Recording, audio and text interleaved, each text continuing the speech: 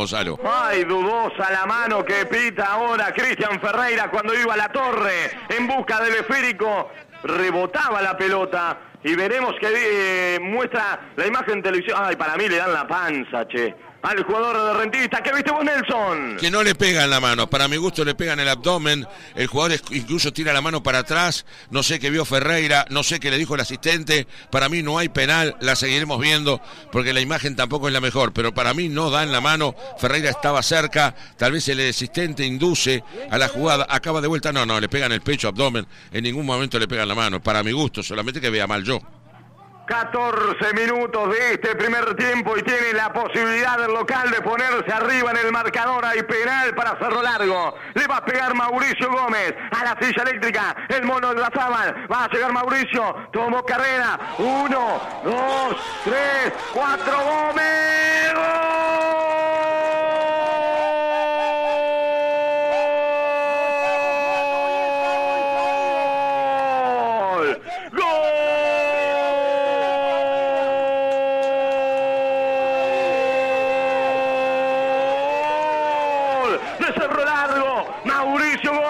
El 4, excelente el remate como se debe empatear.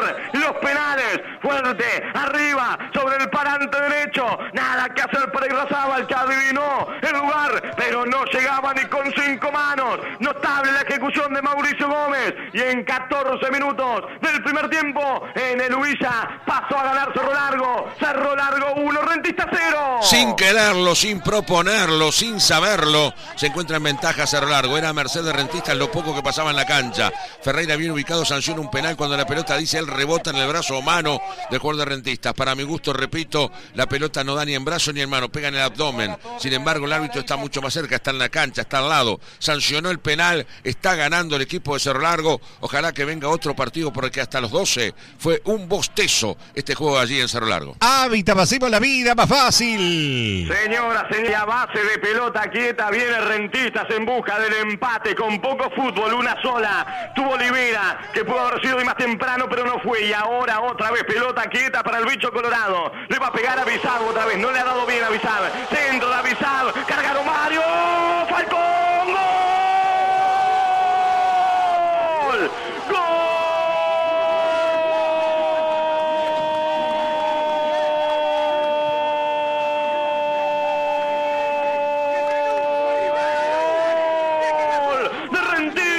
Maximiliano Falcón, el zaguero, el 27, y a base de pelota quieta, sin fútbol prácticamente, pero llegaba con la pelota quieta, el bicho colorado, y en el punto penal prácticamente, entrando en la puerta del área menor, ahí conectó el golpe de cabeza Falcón, y a los 21 minutos del primer tiempo, lo empata el líder de la apertura, ahora Cerro Largo y Rentistas, están 1-1. Un buen centro en la cabeza de Falcón, nadie salió a cortar. Falcón gana por detrás de todos, salta mejor que todos y mete la pelota al paro izquierdo. Una guerra que también se queda. Un gol donde evidentemente aprovecha Rentista los errores del rival. Además, había habido ya tres infracciones casi continuas en ese sector derecho, donde está Mauricio Gómez, donde no contiene bien Cerro Largo y por allí encontró el centro y la búsqueda de la posibilidad aérea al equipo de Rentistas. Lo encuentra con Falcón en un partido realmente muy malo que estamos viendo, de lo peor que vi hasta ahora en la vuelta del fútbol uruguayo.